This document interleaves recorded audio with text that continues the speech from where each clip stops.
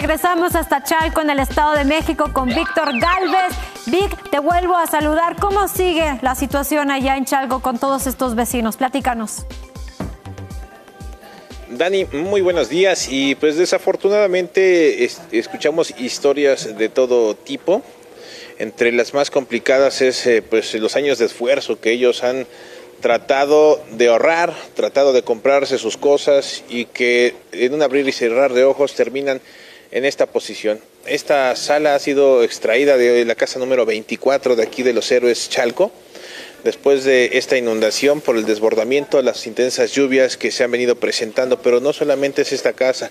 Si volteamos en todo el contorno, prácticamente todos los habitantes están sacando lo que ya desafortunadamente no les va a servir, lo que desafortunadamente ya ha afectado pues esta, esta corriente de agua, agua que traía consigo una gran cantidad de lodo, una gran cantidad de basura. Nos los muestra mi compañero en las imágenes y bueno, vamos a platicar un poquito con eh, la habitante de esta casa número 24 que desafortunadamente Señora, muy buenas, muy buenos días. Buenos días. Digo buenos en términos generales, pero realmente es una situación compleja y complicada. ¿Podemos, eh, nos puede dar una visita a su casa? Claro ¿Cuál es su nombre? Edith Baena Martínez. Platícanos, Edith, ¿a qué te dedicas? trabajo, trabajo en un hospital, soy cirujana maxilofacial. Ayer no estabas en tu casa, te hablan que se vino el agua, que entró a las viviendas. Así es, eh, yo trabajo en el turno matutino en el Hospital General La Perla. Cuando me hablan mis vecinas, yo todavía estaba en, en horario de trabajo.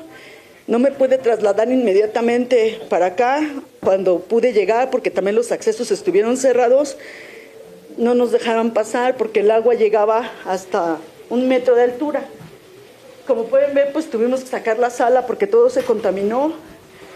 Ahorita estamos tratando de, sacar pues cosas que teníamos en este, esta era una pequeña bodega. Está todo repleto de, lodo, ¿no? Todo lo... Ya sacamos todo, ahí tenía mis máscaras N95, aquí... Equipo especial. Equipo especial que ocupamos durante la pandemia.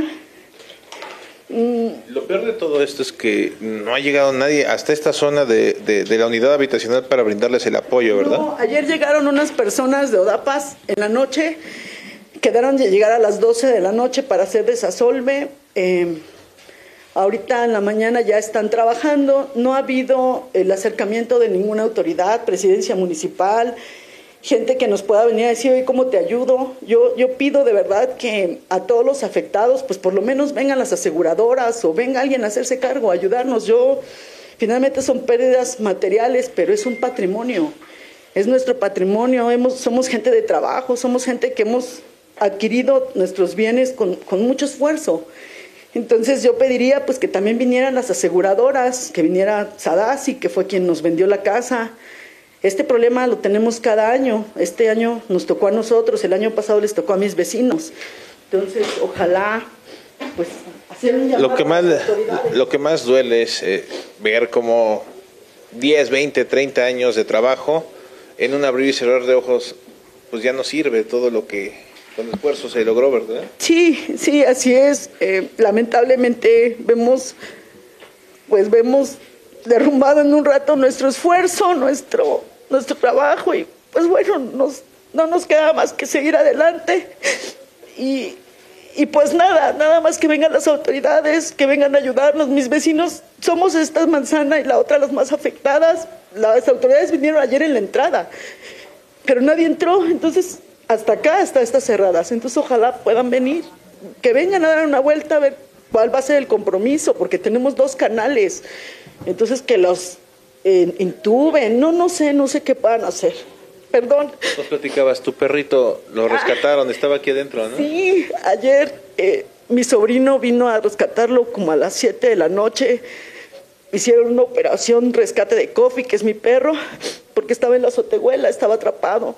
Entonces vinieron, a mi sobrino le llegaba el agua a la cadera y pues gracias a Dios pudieron rescatarlo y creo que eso es lo que me tiene ahora contenta, que mi perro que mi perro está sano y salvo. Muchas gracias. Gracias a ustedes. Y pues bueno, eh, las lágrimas no están de más. Digo, al final de cuentas, ella trabajó, luchó por obtener sus cosas. Eh, de repente, un agua, el agua que corrió por prácticamente todas las avenidas, por todas las calles, pues se, introduce en sus viviendas y hoy pierden prácticamente eh, todo lo que tenían y que ahorraron y que juntaron para poderlos obtener.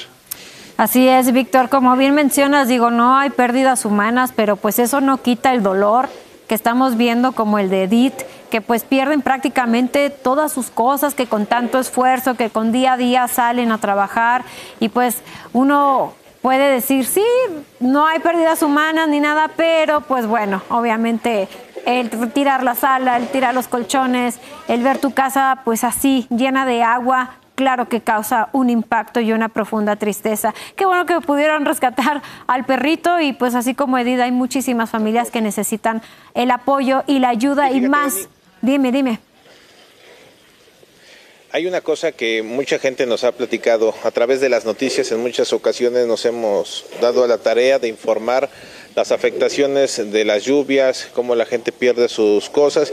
Y podría parecer a una imagen que viene y va y que pues en algún momento si tú no la vives, eh, no sabes la magnitud y el dolor que se siente. Y hoy ellos es lo que nos han comentado. En muchas ocasiones, veían las afectaciones en Ecatepec, hoy les toca a ellos y el dolor es, bastante grande, la afectación es impresionante y también la forma en cómo se dan las cosas también es una forma en la que pues nunca imaginaron vivir este tipo de situaciones aquí, por lo menos en esta unidad habitacional de los Ceres Chalco, segunda sección, aquí en este municipio ubicado en la zona oriente del Estado de México. Y las afectaciones continúan, pese a los trabajos, seguirán, seguirán, seguirán, porque es muchísimo lodo y muchísima la afectación. Así es, les queda pues buen rato con estas eh, largas actividades. Ojalá las autoridades puedan llegar hasta este punto para que puedan pues, resolver más rápido esta situación y pues ver en un futuro qué se puede hacer, porque como comentan, temporada con temporada, año con año, sufren este tipo de, de cosas. Muchísimas gracias, Víctor. Regresamos más adelante contigo.